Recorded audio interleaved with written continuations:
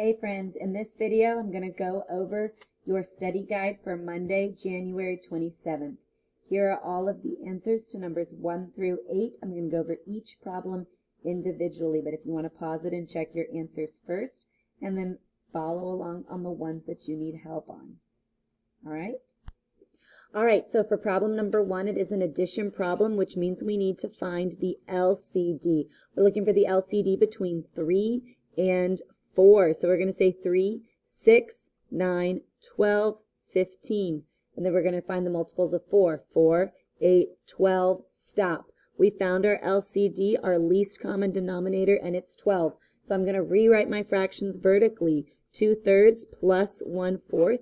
And now I'm going to make those equivalent fractions with a denominator of 12. To go from fourths to twelfths, I need to multiply by 3. What you do to the bottom, you do to the top. 1 times 3 is 3. To go from thirds to twelfths, I need to multiply by 4. What you do to the bottom, you do to the top. 2 times 4 equals 8. Now I have common denominators, so I can add 8 twelfths plus 3 twelfths, 8, 9, 10, 11. It gives me 11 twelfths. That's our answer for number 1. Moving on to number two, it's another addition problem, so we do need to find the LCD. We're looking for the LCD of 5 and 10. We say 5, 10, stop. We found that LCD, easy peasy, lemon squeezy, it's 10. We're going to rewrite it vertically, 3 fifths plus 2 tenths, and we're going to find those equivalent fractions with a denominator of 10. To go from tenths to tenths, I multiply by 1. What you do to the bottom, you do to the top. 2 times 1 is 2. To go from fifths to tenths, we multiply by 2. What you do to the bottom, you do to the top. 3 times 2 is 6. Now I have common denominators, so I can add 6 tenths plus 2 tenths equals 6, 7, 8 tenths. I see that my numerator and denominator are both even, so I can divide by 2 to simplify my fraction. 8 divided by 2 is 4. 10 divided by 2 is 5. So my answer of 8 tenths simplifies down to 4 fifths. That's your answer for number 2. Moving on now to number 3. It is a subtraction problem with mixed numbers. It's a subtraction problem, so I do need to find that LCD. I'm finding the LCD of 3 and 4, so I find the multiples. 3, 6, 9, 12, 4, 8, 12, and stop. We've done it once, so you should have known that the LCD is 12. We're going to rewrite those fractions vertically, making sure we line up our whole numbers with our whole numbers and our fractions with our fractions. We're going to create those equivalent fractions with a denominator of 12, just like we did before. Fourths to twelfths times 3. What you do to the bottom, you do to the top. 1 times 3 is 3. Thirds to twelfths times 4. What you do to the bottom, you do to the top. 2 times 4 is 8. Now I have common denominators, so I can subtract 8 twelfths minus 3 twelfths, 8, 7, 6, 5 twelfths. Don't forget those whole numbers. 4 minus 1 is 3, which gives us an answer of 3 and 5 twelfths. Number four is another subtraction problem with mixed numbers. So we're going to find the LCD. We're finding the LCD of 6 and 12. So we say 6, 12, and stop. We found the LCD easy peasy. It's 12. We're going to rewrite our fractions vertically, making sure that we are subtracting, and then create those equivalent fractions with a denominator of 12.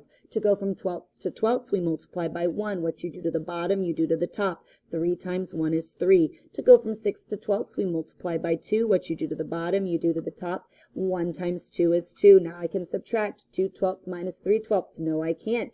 2 is smaller than 3, so we say stop regroup. We're going to regroup that 3, take a whole out, turn it into 2. We're going to add our whole over here. We want to add our whole with a denominator of 12. Therefore, our numerator must also be 12 in order to keep it one whole. 2 twelfths plus 12 twelfths gives me a total of 14 twelfths. I can now say 14 twelfths minus 3 twelfths.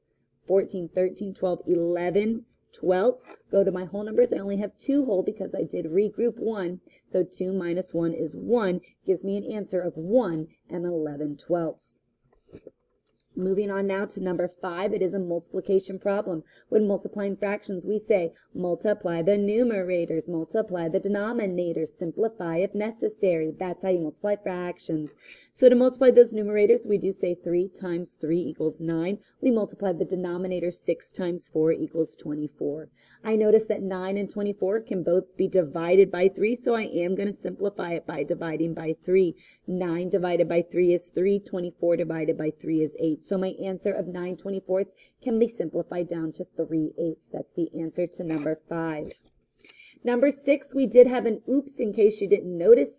I asked you to find the product, but then I gave you an addition problem. So I'm going to do it both ways because I do want you to have practice with multiplying mixed numbers, but I'm sure most of you solved this problem. So for the addition problem, we do need to find that LCD. We're finding the LCD of 2 and 4. We say 2, 4, stop. That's our LCD right there. We're going to write them vertically, 2 and 2 fourths plus 3 and 1 half, and make those equivalent fractions with a denominator of 4. We go from halves to fourths by multiplying what by 2. What you do to the bottom, you do to the top. 1 times 2 is 2. To go from fourths to fourths, we multiply by 1. What you do to the bottom, you do to the top. 2 times 1 is 2. Now we can add 2 fourths plus 2 fourths gives me a total of 4 fourths. 2 plus 3 gives me a total of 5.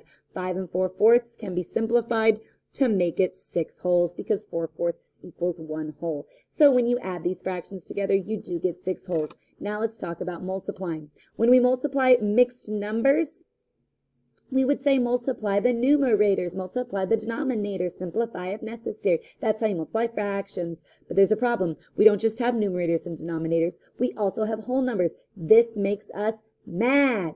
Ugh! Multiply, add, denominator. What? That's right, we have to get mad on this problem. So we're going to say 4 times 2 equals 8.